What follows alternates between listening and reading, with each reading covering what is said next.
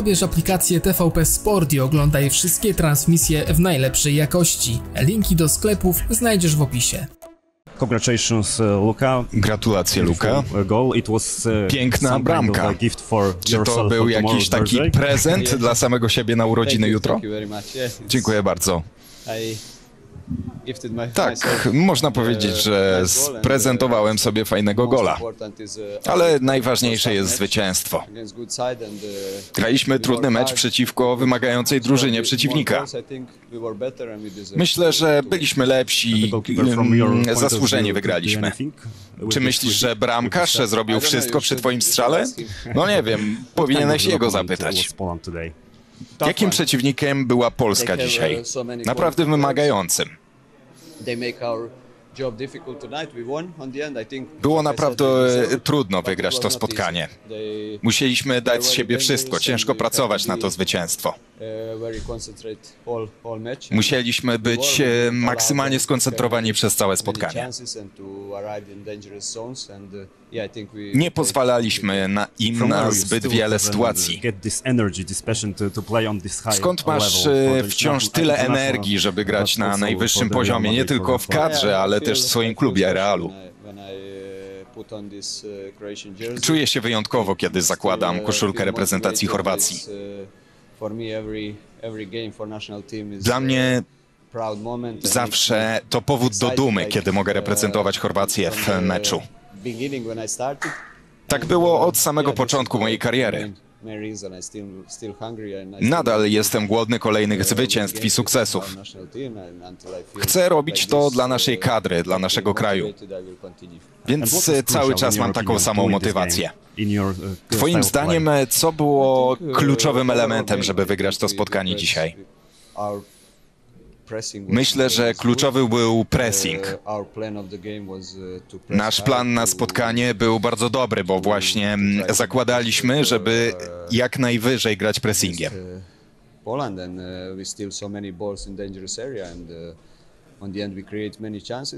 Tworzyliśmy sobie wiele sytuacji i rzeczywiście ten pressing sprawdzał się przeciwko Polsce dzisiaj. Możemy być zadowoleni ze swojego spotkania. Masz koszulkę Nikoli Zalewskiego w swojej e, ręce. Czy zwróciłeś na niego uwagę? Tak, tak, znam go z Romy. Dzisiaj był jednym z najgroźniejszych zawodników Polski. Thank you, Luka. Panie trenerze, na gorąco po meczu, jakie wnioski? No na pewno w pierwszej połowie wyeliminowaliśmy wiele atutów Chorwatów i tutaj akurat e, to, co chcieliśmy, to robiliśmy. No, na pewno za mało agresywniejsze na połowie przeciwnika to robiliśmy. No też nie, nie potrafiliśmy płynnie utrzymać się przy piłce, to co chcieliśmy i tego nam, tego nam zabrakło. Nie stworzyliśmy jakichś takich groźnych sytuacji. I na pewno kluczowa była bramka i, i tutaj napędził się zespół Chorwacji. Widać było, że, że mieliśmy moment taki, że trzeba było przetrwać i było bardzo trudno, bo po zmianach trochę się to uspokoiło i to zmieniło trochę oblicze, ale no szkoda nie, niewykorzystanych sytuacji, ale no trzeba przyznać, że byliśmy słabsi jednak e, dzisiaj, że nie też ten czwartek, niedziela jednak na, na, na tych, tak, takie tempo jak chcemy utrzymywać, to trochę nas to dzisiaj bolało i trochę cierpieliśmy, w szczególności też no, no, dla nas kluczowe jest to, żeby zawodnicy zaczęli grać, będzie im na pewno dużo łatwiej, te następne mecze będą łatwiej, bo już są trochę innych terminach, ale też nie ma co narzekać, no, postawiliśmy się, pokazaliśmy, że że potrafimy. Trzeba umieć też chłodno pewne elementy patrzeć i tak w taki sposób patrzymy.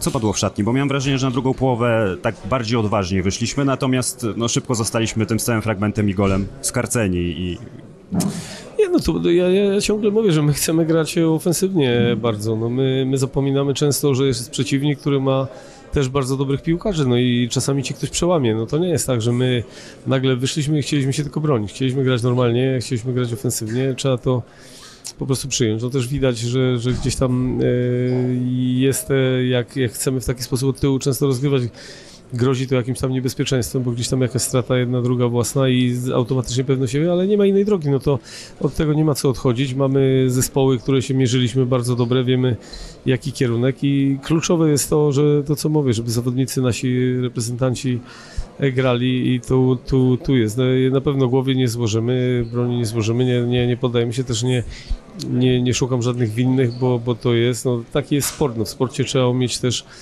przyjąć porażkę godnie. Mm, Robert i Kacper Urbański wskazywali środek pola jako taką kluczową strefę, gdzie, gdzie po prostu e, te rywalizacje przegraliśmy. Zgodziłby się pan?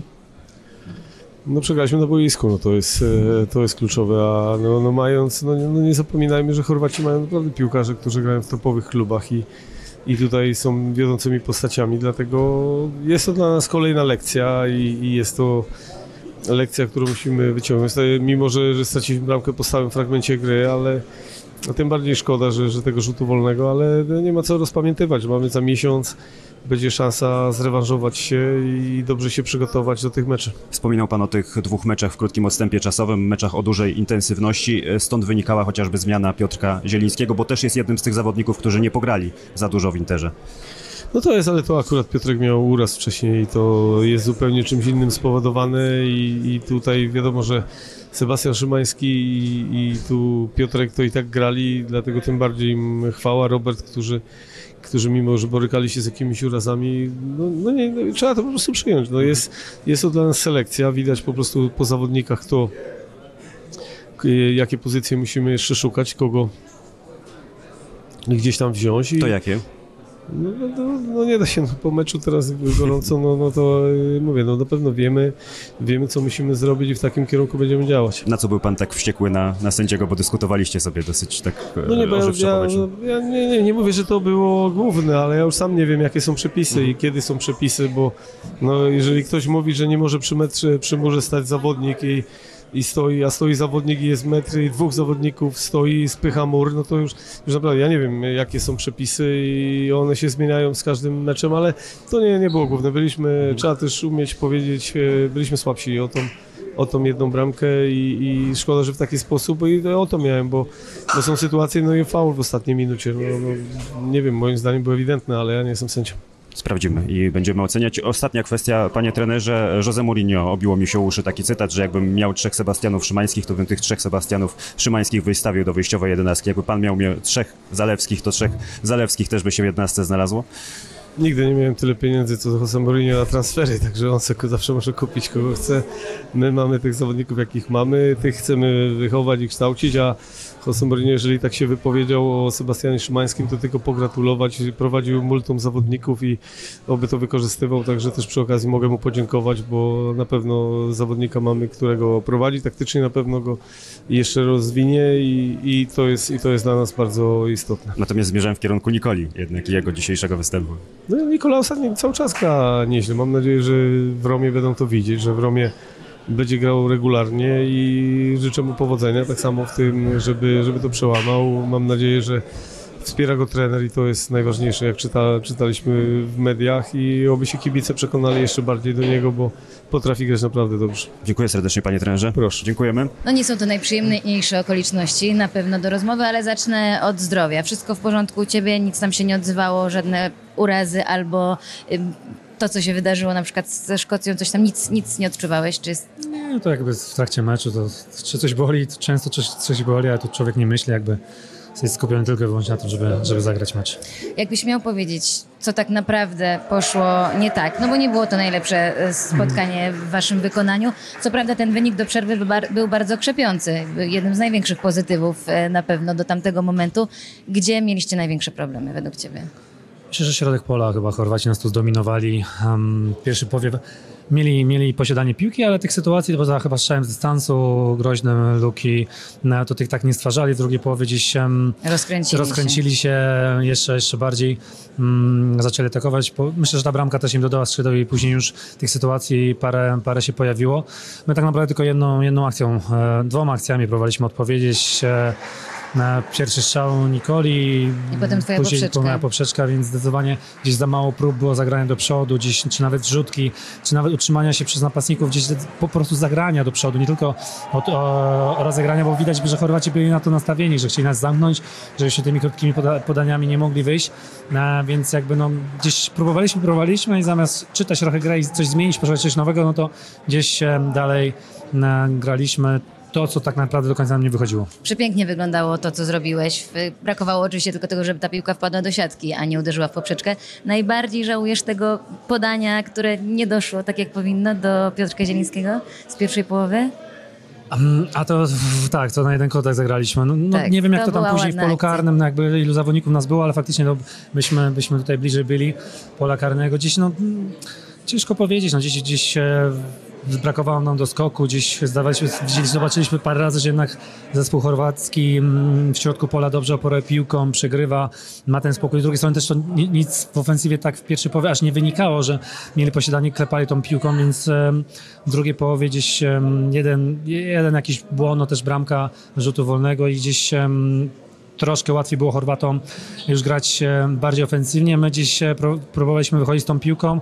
Czasami wyszliśmy, czasami gdzieś brakowało jeszcze e, zabrania się, tak jak to zespół chorwacki wielokrotnie właśnie ze środka pola zabierał tą piłkę i robił przewagę do przodu. U nas tego dzisiaj też brakowało i dlatego też mieliśmy ciężko, żeby się przedostać przede wszystkim pod ramkę przeciwnika. To na koniec dosłownie tylko pytanie o to, co zrobił Luka Modric. Trzeba być już nad człowiekiem, żeby tak uderzyć piłkę, czy zdarzało ci się obserwować takie rzeczy i jesteś niewzruszony?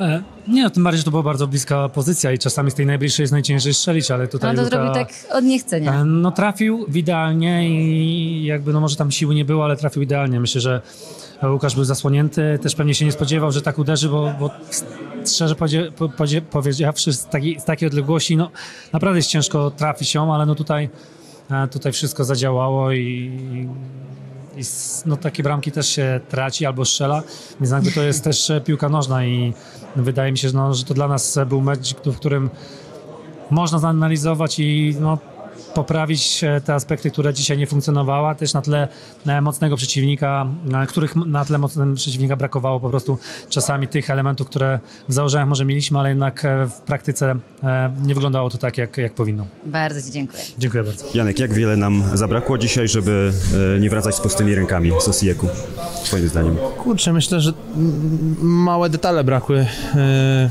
Trochę pod bramką przeciwnika, chociaż uważam, że, e, że oddaliśmy zbyt dużą kontroli e, przeciwnikowi. Oczywiście w środku pola mają bardzo wiele jakości i, i, i zawodników, którzy potrafią to robić, w takich klubach, że e, dla nich ta, ta kontrola nad grą to jest na porządku dziennym, ale, ale uważam, że trochę zbyt statyczni byliśmy, mogliśmy trochę więcej presować, być trochę bardziej odważni. Ale myślę, że z, jedną rzeczą, którą trener po meczu powiedział, miał rację, że, że brakło dorównania tak naprawdę zagrania dwóch równych spotkań. Myślę, że ten drugi mecz był trochę gorszy, choć mieliśmy swoje momenty. E, trochę zabrakło i myślę, że to jest e, lekcja, bo, bo Chorwacja naprawdę e, klasowy rywal i myślę, że to dzisiaj udowodnili. E, Trochę miałeś dzisiaj roboty z tym Igorem Matanowiciem. Siedem strzałów chyba oddał na bramkę. Widziałem tam w 34 minucie mm, po jednym z takich strzałów e, Łukasz Skorupski cię zawołał i coś powiedział na ucho. Co- Pamiętasz co to było? O co chodziło? No i wydaje mi się, że mówił, e, abyśmy bardziej presowali Modricia i Kowacicia. E, kiedy, byliśmy w średnim, kiedy byliśmy w średnim pressingu, to, to e, starałem się podpowiedzieć, żebym wypychał środkowych pomocników, by więcej stwarzali presji, by nie mieli tyle czasu na to, by, by się rozejrzeć, by wyb- wybrać odpowiednią e, opcję, bo, bo tak jak powiedziałem wcześniej, z takimi klasowymi zawodnikami, dając im tyle czasu, ile mieli w pierwszej połowie, zawsze, zawsze e, ten wybór będzie odpowiedni i, i stworzą e, okazję dla, dla, dla ich zawodników, także e, tak, myślę, że małe rzeczy, tak jak powiedziałem wcześniej, małe rzeczy decydowały, że, że Chorwaci naprawdę tworzyli, myślę, że niezłe sytuacje, nie mieli takich klarownych sytuacji, których e, można było wesnąć i, i powiedzieć, że mieliśmy szczęście. Myślę, że, że tylko w drugiej połowie, kiedy ta była sytuacja e, trafiając poprzeczkę, ale, ale zawsze staraliśmy się być blisko i, i, i robić wszystko, by, by te sytuacje nie były klarowne, także e, tak powiedziałem, lekcja e, to jest, e, to jest mecz, w którym się uczymy. Myślę, że mamy wielu nowych, młodych zawodników, którzy zyskują doświadczenie, także myślę, że małymi kroczkami idziemy do przodu i,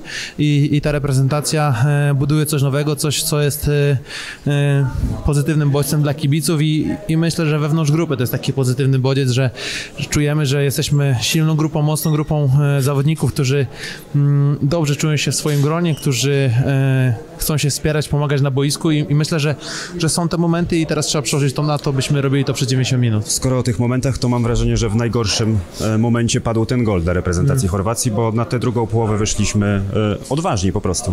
Tak też myślę. E, Chyba Niko miał taki groźny strzał, gdzie tam było lekkie zamieszanie i, i to już jest jakość. Naprawdę, moim zdaniem skoczyliśmy dość wysoko w tym murze i, i, i widziałem też, że ta piłka leciała nad moją głową. Mówię, no leci całkiem nieźle. Okazało się, że wylądowała e, w samym okienku bramki, także wielka klasa i, wielki szacunek dla Luki Modricia, bo to jak, e, nie tylko grał w piłkę, ale jak biegał, walczył, ile zdrowia zostawił na boisku, to, to myślę, że wielkie szapoba dla niego, bo w takim wieku robić tak wielkie rzeczy, to jest tylko myślę e, motywacja, nauka dla, dla każdego z nas, tak jak powiedziałem, młodzi zawodnicy i, i myślę, że to jest jedna z tych lekcji dla nas, byśmy uczyli się od takich zawodników zaangażowania, pasji do gry i, e, i po prostu to, jak to robi, jest niesamowite. To odrabiajmy te lekcje. Dziękuję Ci Dziękuję. bardzo, Janek. Dziękuję. Mateusz, jaki to był debiut w reprezentacji Polski, bo ważny dzień dzisiaj za Tobą.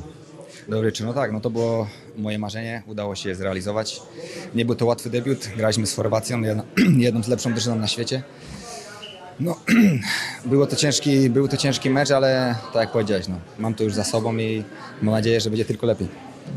E, Też na twardego przeciwnika dzisiaj trafiłeś, bo wielokrotnie rywalizowałeś z Joszko Gwardiolem. Kilka razy udało Ci się gdzieś umknąć, kilka razy zastawić e, piłkę w odpowiedni sposób, natomiast no, no to chyba nie są łatwe rzeczy, prawda? No nie są łatwe rzeczy, tym bardziej też, że ja nie jestem takim zawodnikiem typowo fizycznym, żeby walczyć tam gdzieś. No niestety, dzisiaj była taka gra, było dużo tych piłek, których trzeba było zbierać i, no i trzeba było powalczyć. No.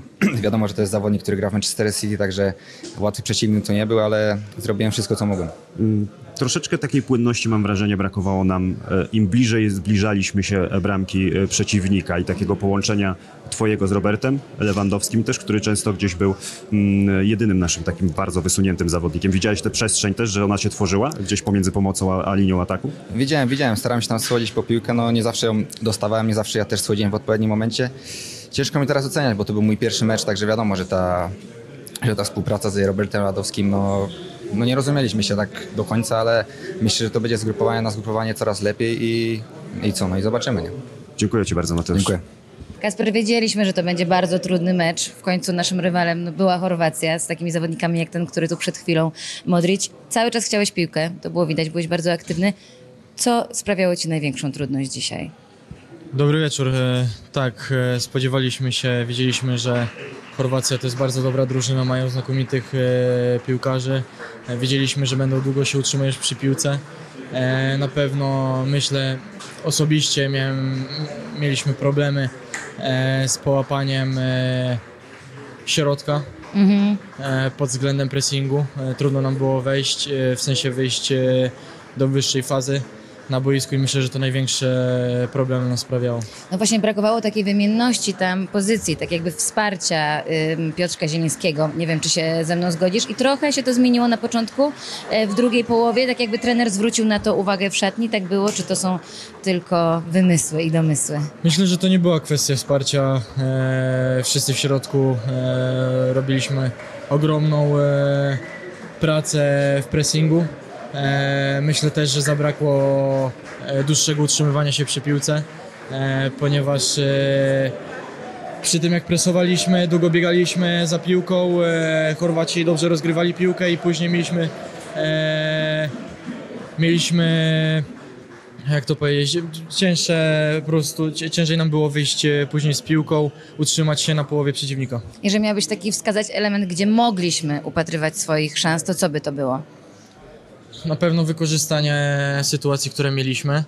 E, no i tak też nie było za dużo, nie? Tak, nie było za dużo, nie, nie stworzyliśmy. Ale i tak e, więcej niż ze. Szkocją, przynajmniej tak mi się wydaje z przebiegu tego spotkania, że po prostu brakowało Szczerze tego nie jestem w stanie teraz policzyć, e, ile mieliśmy okazji, natomiast tak jak wspomniałem wcześniej, myślę, że e, te dłuższe utrzymanie przy piłce e, jest kluczem, e, ponieważ to zmusza przeciwnika do biegania i to on się męczy bez piłki. E, my, gdybyśmy stwarzali, w sensie gdybyśmy e, posiadali dłużej piłkę, to, to byśmy może stwarzali więcej sytuacji. Ty zdrowotnie wszystko ok. Ta zmiana była po prostu taktyczna, taka decyzja trenera. Tak, zdrowotnie Się... e, wszystko ok, e, była to zmiana taktyczna. Bardzo Ci dziękuję, to Dziękuję najważniejsze. bardzo. Dziękujemy ślicznie. Łukasz, ja zacznę od tego jedynego gola, to co zrobił Luka Modric. To, co zrobił Luka Modric było niesamowite. Być może trzeba być nad piłkarzem, żeby tak uderzyć w piłkę. I teraz pytanie, czy trzeba być nad bramkarzem, żeby to wybronić, czy uważasz, że to było w Twoim zasięgu? Luka Modric to jest mistrz, najlepszy, najlepszy zawodnik prawie świata. Strzelił pięknego gola, gratulacje dla niego. Szkoda, że nie wyjęliśmy chociaż stąd punktu, ale głowy do góry i czekamy na październikowe mecze. Skoro już mowa o zasięgach i o punktach, to ten jeden w naszym zasięgu był, czy raczej trzeba posypać głowę popiołem i oddać dzisiaj to, że po prostu Chorwaci byli lepsi? Ciężko powiedzieć teraz tak na, na, na gorąco, ale myślę, że wygrali zasłużenie, mieli parę dobrych sytuacji, my mieliśmy tam jeden strzał lewego. Wiadomo, w piłce jest różnie. Mało się strzela, czasami strzałów na bramkę, a się remisuje albo się wygrywa. Dzisiaj trzeba im pogratulować, bo naprawdę zagrali dobrze w piłkę Chorwacja. Mieliśmy jeszcze strzał Zalewskiego, to był chyba jedyny w ogóle celny w tym meczu. Wiem, że ciężko, tak na szybko, ale z Twojej perspektywy być może najłatwiej, bo najwięcej widzisz. Czego nam przede wszystkim dzisiaj zabrakło? Bardziej umiejętności, może nie wiem, sił, a może pomysłu? Ja myślę, że umiejętności mamy. Z trenerem Probierzem jest coraz lepiej, bo idzie progres do przodu. Powoli, powolutku. Myślę, że coraz będzie lepiej i mam nadzieję, że zdobędziemy w październiku ważne punkty. Bardzo Ci dziękuję. Dzięki.